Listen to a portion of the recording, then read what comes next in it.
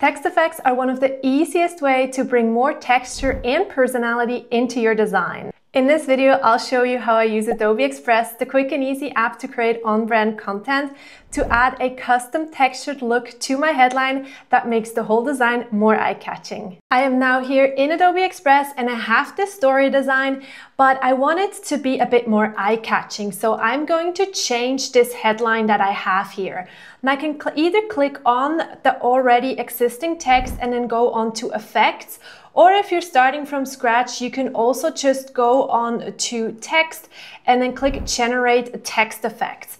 So for now, we're going to change this text here going on to effects and then it already gives me some suggestions, but I want to create my own text effect. So I'm gonna describe what kind of text effect I want. So I'm gonna say a beige and white marble. And then here I can choose the style. I like to keep it realistic and then just press generate. And now we have these different marble options, which are totally my vibe because as you can tell, I love beige, but it's not really eye-catching. So let's try something different. I'm going to duplicate this design so that we have a comparison. Then I'm gonna click on the text again and give it a different prompt. This time I'm going for something more gold. With other tools, I had to settle for what's already there or blend stuff together. Adobe Express lets me make the text look exactly the way I want to.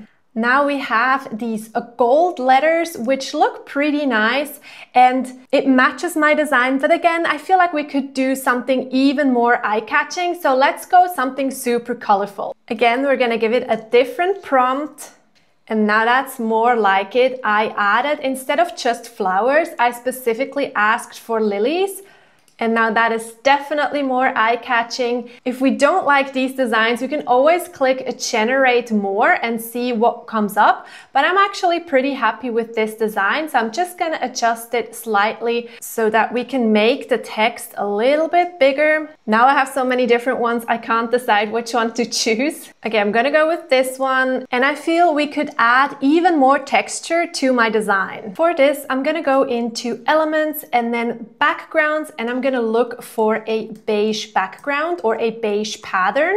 As I said, I just wanna give it a bit more texture and not change the design completely. So I'm gonna have this pattern as an overlay. I don't want it as the background, so I'm going to detach the background. Then I'm just gonna turn it and lay it completely over my design send it to back and then change the overlay to a very small percentage to give it this more textured feeling. And there we go. We have my story that is way more eye-catching than the original one. And here as a comparison, it definitely stands out more. We gave it some more personality with just a few changes. Want your design to stand out with just a few small changes? Adobe Express makes it easy to add custom effects and bring texture into your content. Try Adobe Express for free.